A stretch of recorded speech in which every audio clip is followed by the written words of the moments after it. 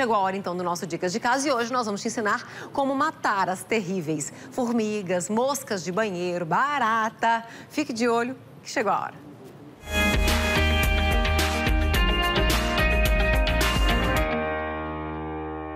Patrícia Piazza já está aqui ligadinha com a gente, já está aprendendo a se livrar desses bichinhos, receitinha caseira, não sei, acho que a Paty não tem tanto pavor de barata. É sabe o que acontece? A Paty tem gato, os gatos matam as baratas, Esse, essa é a questão. E aí ela não tem tanto pavor como eu, mas você já aprendeu, minha querida, a se livrar dessas danadas?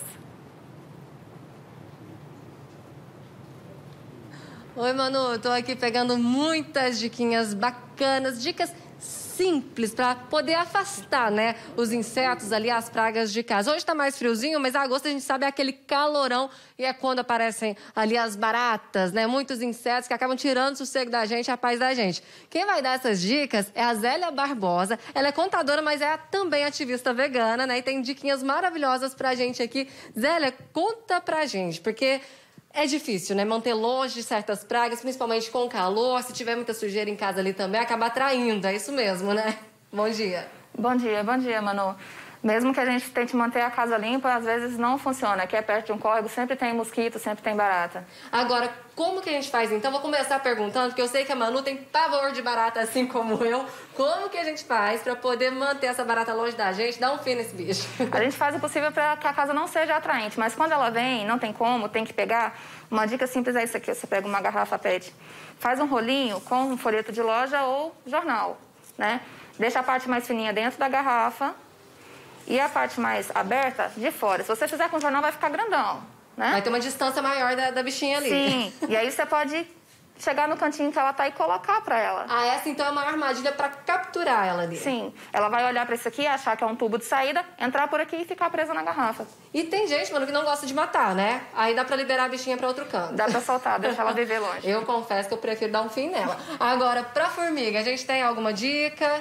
Tem aquele muito conhecido já, que é o limão com um cravo. Eu peguei um limão e espetei aqui uns 50 cravos da Índia nele.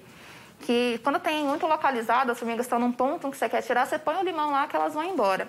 Mas se for uma, uma superfície maior, como essa bancada aqui que eu uso às vezes, eu faço doce e fica com formiga, o que, que eu pego? Aqui tem meio litro de álcool, eu vou colocar aqui 20 unidades de cravo da Índia, eu coloco nesse vidro de álcool e deixo 4 dias. Olha só. Aqui só meio litro, 20 unidades.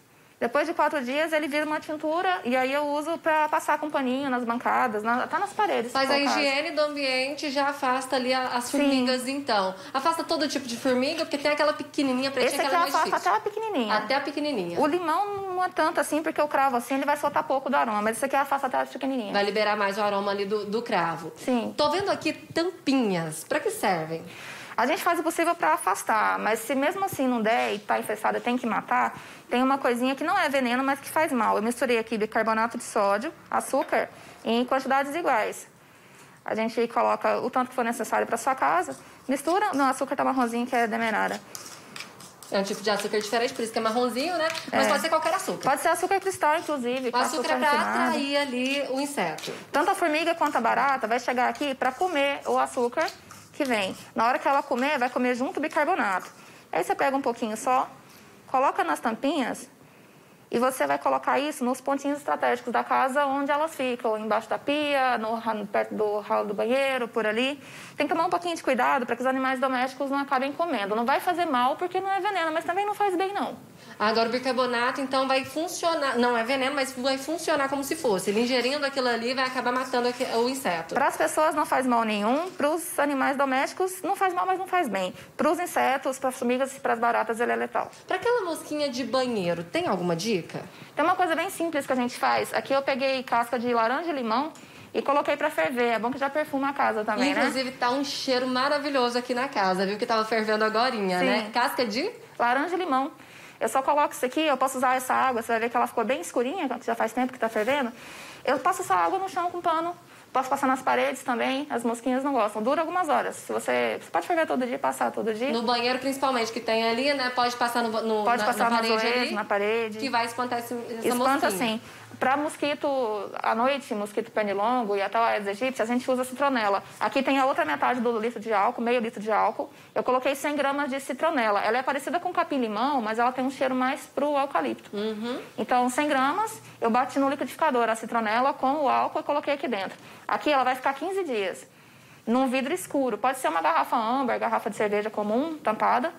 Mas tem que ser uma, uma garrafa escura, Olha por 15 dias.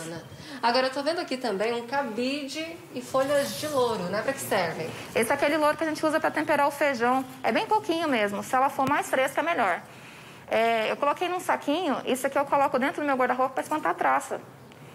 Coloca aqui. Olha só que bacana. E ainda uso o cabide para colocar outra roupa. Só o fato dele estar tá lá, a traça já não chega. O cheirinho dele, a traça não gosta. Sim. Vai acabar espantando. E dura bastante, uns seis meses só para poder trocar essa folhinha. Seis e meses? é pouquinho, sim. Custo mínimo. Nada.